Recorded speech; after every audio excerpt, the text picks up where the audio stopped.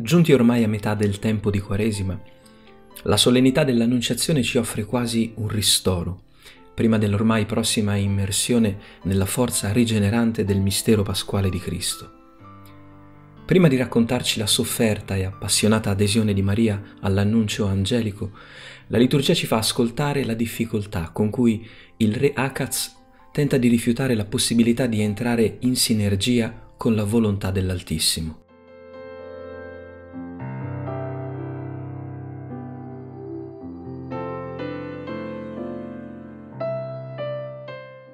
È una grande tentazione, anzi, persino una pericolosa mistificazione, chinare il capo davanti a Dio anziché continuare a confrontarsi con la sua sensibilità.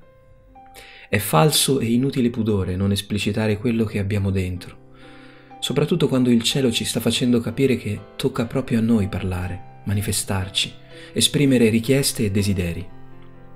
Purtroppo le sofferenze della vita vorrebbero insegnarci che tacere è meglio, che manifestarsi è solo un rischio. Niente di tutto questo appare invece nel cuore della giovane Vergine di Nazareth, che non sembra avere alcun timore nell'accogliere la parola di Dio con partecipazione e creatività.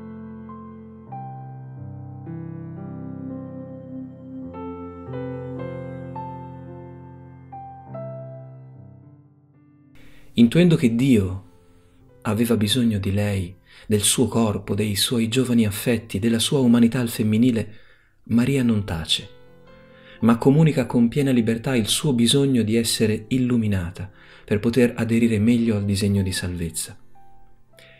La Vergine comprende che l'avventura della vita conosce accelerazioni improvvise e invita a compiere passi enormi, impossibili.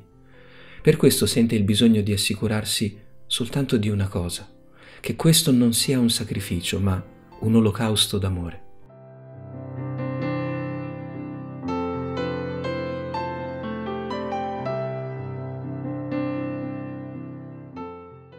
La medesima parola udita da Maria, per altre vie ma con la stessa intensità, bussa anche alla nostra porta, proprio in questi giorni di Quaresima. A noi Dio rivolge l'invito a essere un luogo santo, dove la sua parola di salvezza desidera ancora diventare storia sacra e nuova umanità. Proprio noi, che ancora una volta ci siamo incamminati verso la celebrazione del mistero pasquale di Cristo, siamo chiamati a convertire il cuore all'amore più grande, ad ascoltare il canto dell'Annunciazione, che comincia sempre allo stesso modo, con un invito a riconoscere quanta benevolenza ha finora accompagnato la storia della nostra vita.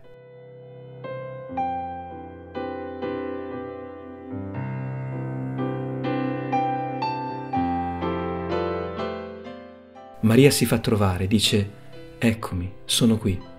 Lo fa credendo che mentre il cuore è ancora pieno di paura, la sua vita è piuttosto colma di benedizione, che i motivi per sorridere sono infinitamente maggiori di qualsiasi ragione per piangere o declinare l'invito del cielo.